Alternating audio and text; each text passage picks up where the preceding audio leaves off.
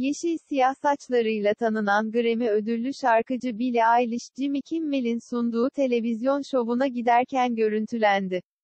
Makyajsız ve salaş görüntüsüyle kameralara yansıyan 19 yaşındaki Amerikalı şarkıcı, hayranlarının ilgisini yanıtsız bırakmadı, stüdyo çevresindeki, üzeri örtülmüş, demir parmaklıkların altından kendisine seslenen hayranlarını gören ünlü şarkıcı, neredeyse yere yatarak onlarla konuştu.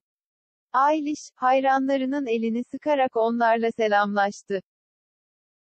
Program çıkışında da saçları şekillenmiş ve makyajlı bir halde objektiflere yansıyan Eilish, yine her zamanki gibi bol giysilerle seyirci karşısına çıkmayı tercih etmişti. Eilish'in bol giysilerden oluşan tarzına alışkın olan hayranları, ünlü şarkıcının zaman zaman cesur kıyafetlerle görünmesine şaşırıyor. Elle dergisinin Ekim 2021 sayısına konuşan Eilish kıyafet seçimlerindeki değişimlerle ilgili şunları söyledi.